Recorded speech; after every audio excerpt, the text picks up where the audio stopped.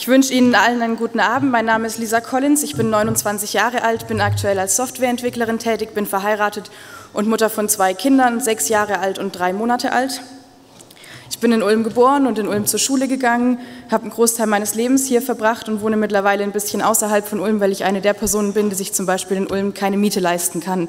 So viel zum Thema sozialer Wohnraum oder bezahlbarer Wohnraum, um das mal anzumerken.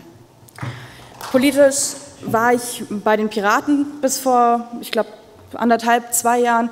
Ich war im Kreisvorstand, ich war als Bundestagskandidatin sowohl als Direktkandidatin als auch auf der Landesliste aktiv und bin irgendwann bei den Piraten gegangen, weil ich gemerkt habe, dass selbst glückliche Beziehungen sich irgendwann auseinanderleben können und die Piraten und ich waren eine sehr glückliche Beziehung, haben uns aber irgendwann leider auseinandergelebt.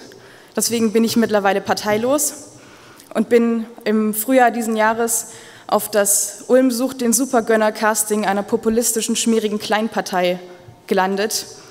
Und die haben postwendend drei Oberbürgermeisterkandidaten aufgestellt und mich hat es erwischt. Die anderen zwei Oberbürgermeisterkandidaten sind leider unterwegs verschütt gegangen, auch wenn ich manchmal das Gefühl habe, der Herr Milde ist einer von uns.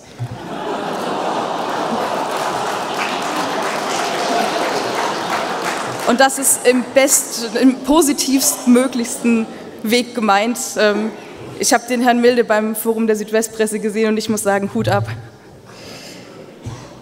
Warum, warum bewerbe ich mich als Oberbürgermeister? Ich finde, man kann nicht immer nur meckern, dass Sachen nicht so laufen, wie man sich das vorstellt. Ich finde, wenn man die ganze Zeit mit Schimpfen beschäftigt ist, muss man irgendwann mal seinen Hintern hochkriegen und es selber machen oder zumindest bereit sein, es selber zu machen. Und deswegen habe ich entschieden, ich bin nicht irgendjemand, der ähm, mit der Politik aufgewachsen ist. Ich bin einfach nur ein Bürger Ulms und ich habe mich ganz oft, gerade mit meiner großen Tochter, über Dinge geärgert, als ich noch alleinerziehend war, weil ich keine bezahlbare Wohnung gefunden habe, weil ich keinen Kindergartenplatz bekommen habe. Und das sind die Dinge, die ich selber erlebt habe und wo ich aus meinen Erlebnissen her sagen kann, da hakt es in Ulm und da gibt es Probleme und da fehlt noch was. Natürlich macht das allein kein Oberbürgermeister aus, aber ich finde, man muss bei einer Wahl auch eine Auswahl haben und es muss vor allem einfach auch mal frischer Wind nach Ulm kommen. Ulm hat sehr lange den gleichen Oberbürgermeister gehabt und das ist nichts Negatives, aber jetzt ist einfach Zeit, neu anzufangen und mal was. Nein, das ist, das ist absolut nicht negativ gemeint, um Gottes Willen. Aber ich denke, man kann einfach nach so vielen Jahren auch irgendwann mal neu anfangen und frisch anfangen und ähm, vor allem auch junge Leute für Politik begeistern und mitnehmen, damit wir keine Generation von politikverdrossenen Leuten heranziehen. Weil das halte ich für brandgefährlich. Das Problem ist, ich habe jetzt noch ungefähr neun Minuten, aber ich habe einfach soweit nichts mehr zu meiner Person zu sagen und ich hoffe, dass es nachher noch Fragen gibt, ähm, weil ich möchte Ihnen ungern zwölf Minuten lang ein Ohr abkauen. Deswegen Dankeschön für Ihre Aufmerksamkeit. Also ich möchte mich erstmal für die Einladung und auch äh, für die Zeit bedanken, die Sie uns allen gegeben haben. Natürlich bedanke ich mich auch bei Herrn Milde für die Wahlempfehlung.